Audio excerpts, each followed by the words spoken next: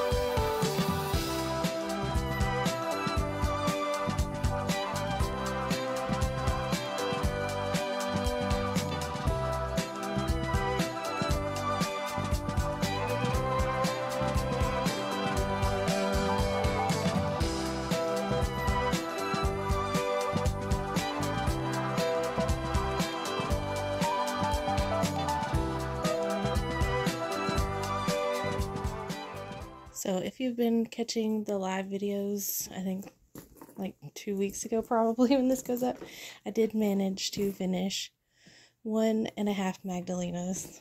Um, wish I could have got the others done, but I'm going to be taking that one. And then I've got these three Sunshine Crossbodies. So I just finished finished the straps on. So I need to put all of these in a bin and then we can leave. I'll tag these when we get to the show. And here we are at Lowe's. My husband is trying to find the aqua tint.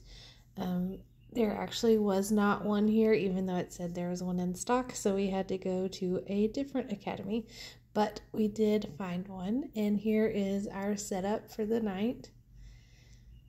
We've got all of our peekaboo beauty bags and slings. And then we've got backpacks, handbags, car trash cans, Catalinas. There's the Magdalena that got finished. And then we've got some ugly Naked Guy hobo bags and the Sunshine Crossbody bags.